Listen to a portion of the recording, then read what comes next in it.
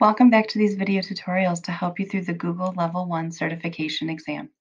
In this video, we're going to talk about scenario 11, which deals with Google Sites.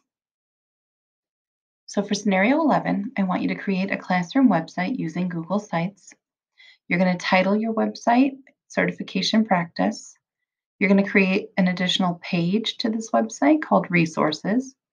You're going to add a doc to this page. You're going to add me as a contributor and then you're going to add a quote and a picture to the home page and move the picture to the right of the words. Okay. So to start a new website, you're going to go to your drive and you actually have two options to get to, to sites. You can come up here to the waffle and scroll down until you find the sites icon right here and click on it there. Or you can come up here to the plus sign new and you'll notice that sites is not listed here, but if you go to more, Sites is right here with that dark purple icon. So I'm going to click on it and open up a brand new site.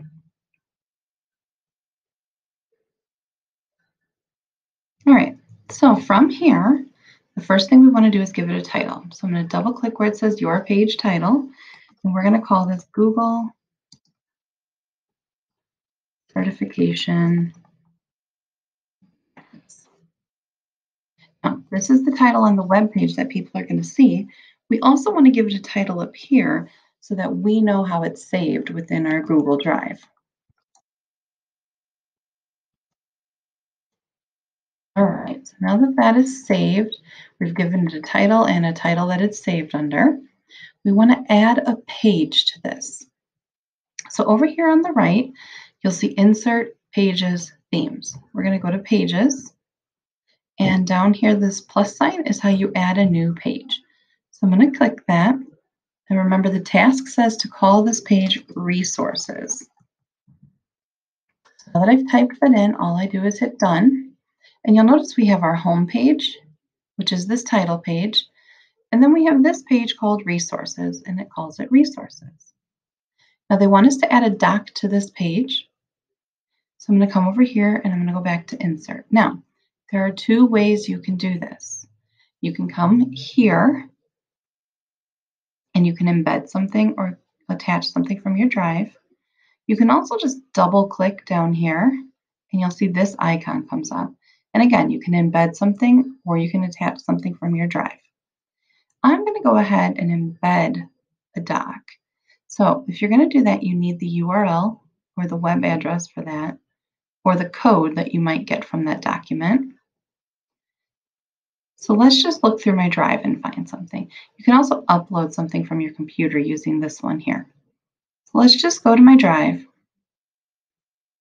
And then this little window pops out and you're going to see some of your recent documents. So I'm going to go ahead and pick this document right here.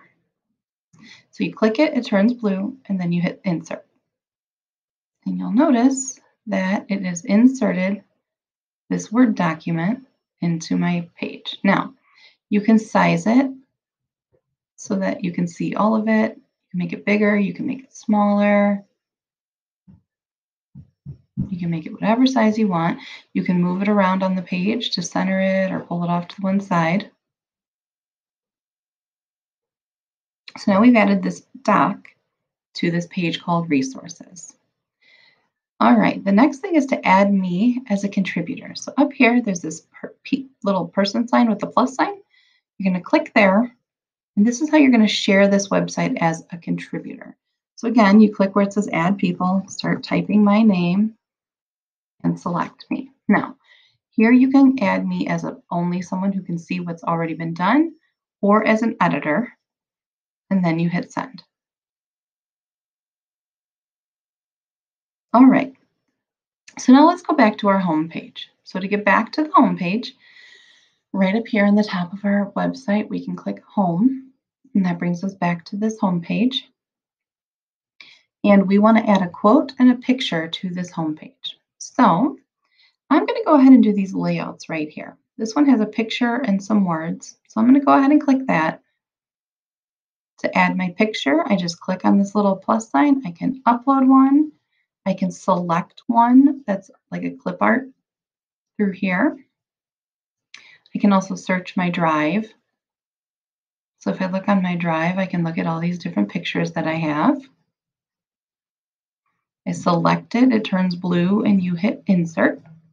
So I have my picture that I can make bigger or smaller. And I can add a quote. So hello.